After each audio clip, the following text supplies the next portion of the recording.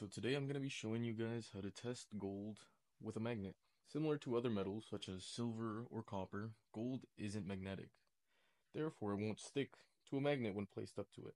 Now, that doesn't mean that any regular magnet will work, such as this little timer I have here. It has a magnet in the back to attach to a fridge or something like that.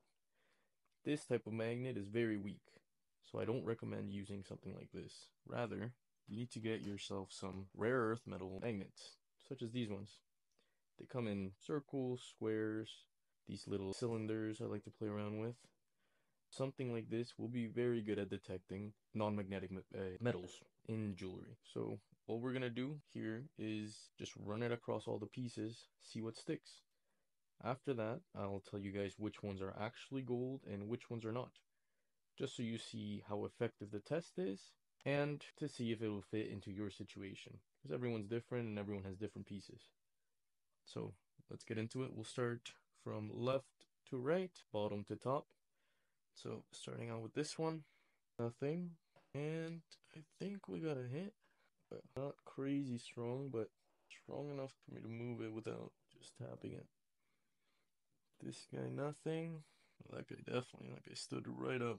Guy, nothing this guy instantly. And the chain in the back, nothing.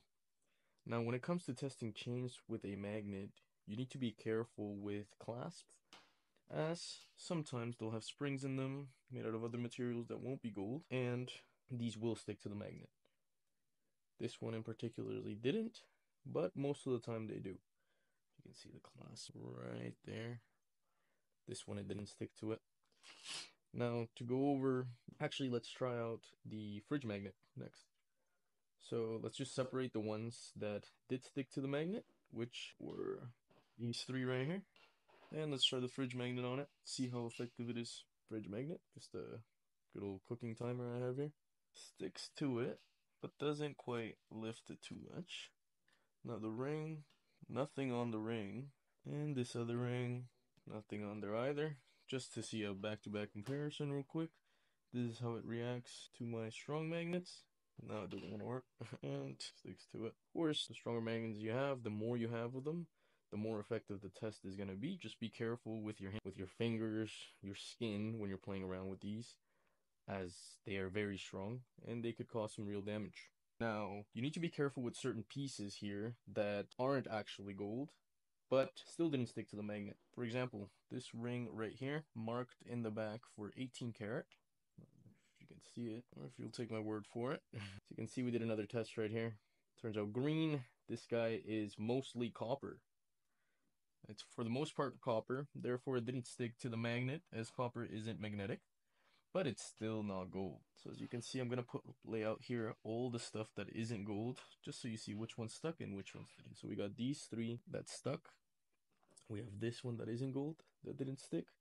We have this one right here, which also isn't gold that didn't stick. And we have this one that also isn't gold and didn't stick. Now the two that are actual gold would be this 10 karat ring right here, an old school, and this 18 karat gold chain.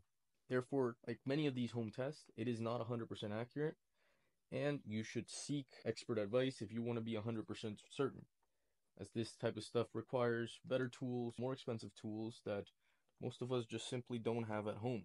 So you shouldn't solely rely on this to fully assert that something is gold or not. You can of course mix up different methods of testing and that might be able to yield you better results, such as using acids. If we had used acids, right, on this one alone, I haven't tried it on these other two, but if we had tried acids on this one, now we would have taken out four of them, four of the potential eight, right? So my chances keep going up kind of thing. So that's what you want to try to do with these home tests. You're trying to eliminate as much as possible to see what's left. But a quick and dirty method if you're trying to test a lot of things is the magnet test. Just make sure you have a strong enough one and that'll be enough. I'll be putting out some other videos on different ways to test gold in case you're curious. In case you don't have access to rare earth magnets, you don't know where to get them, I'll, I'll leave a link in the description for something that looks pretty good. I don't remember where exactly I got these. I think I got them in a local hardware store. But that's the video. Thank you guys for watching, and we'll see you next time.